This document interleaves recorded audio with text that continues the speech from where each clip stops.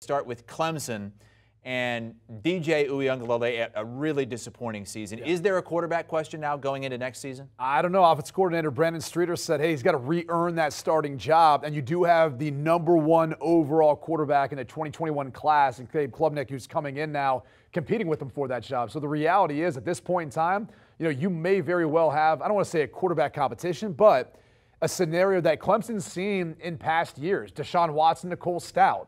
You can go back and look at Kelly Bryant and Trevor Lawrence. We've seen this before. So if, if DJ Uiagalelei doesn't play the way I think the Clemson fan base and really the national college football scene is expecting, you could very well, DK, see maybe a change in quarterback to go with one of the younger, more talented recruits we've seen maybe since Trevor Lawrence to Clemson. Yeah, I think the competition's a good thing because I thought it really was to DJ Uiagalelei's detriment last year that they couldn't go to anybody. They like he was kind of stuck out there, and it was painful to watch at times as he lost his confidence. Where I felt, man, give him a break, like almost a mercy benching to let him catch his breath. But he was stuck out there all year, and the growing pains were there for everybody to see, and that lack of confidence was there.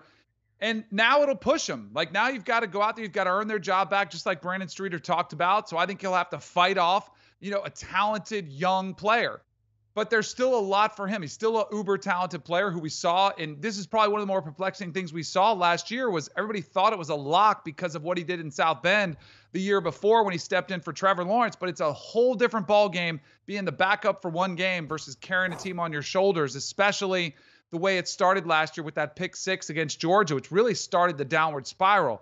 So I think it's a good thing the competition is there. I think Clemson fans can feel good about the position in case DJ doesn't work out. And maybe an entire offseason evaluating film, getting a fresh offensive system behind him with from fresh play calling could be to the uh, Clemson Tigers' benefit, whoever's playing quarterback a few of the things to keep an eye on if you're looking at their defense, right? No James Skalski. It feels like he's been there for over a decade. So they're going to have a young linebacker group.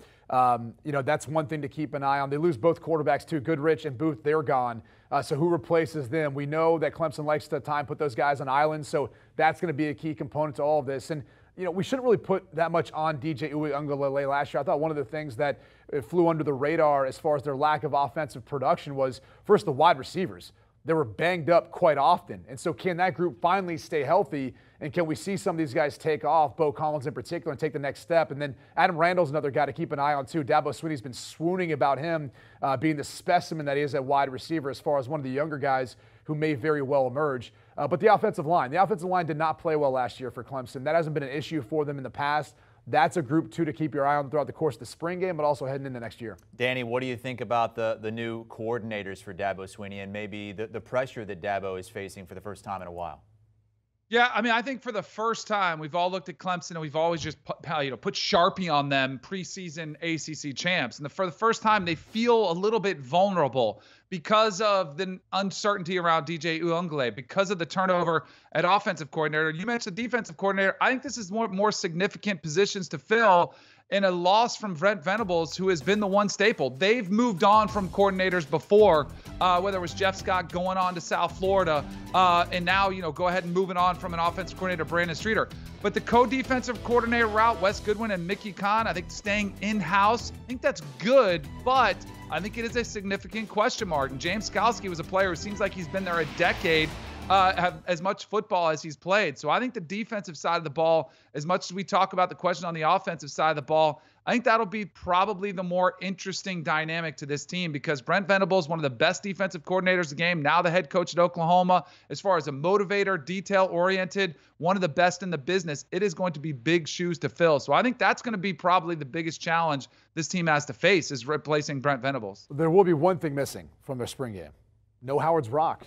They're not going to be going in that normal entrance due to construction there in the stadium. So not only do you have the stadium getting worked on, Howard's Rock will not be a part of that, you know, pregame ritual. Well, what about for the regular season? Is this it'll be back. By, yeah, okay. it'll be back by then. But they're redoing the jumbotron and portions of the stadium. I think I think they'll be okay for the spring game. Breaking massive news. So I was like, wait, Howard's Rock. no, Howard, it's gone. Yeah. Just for the spring game.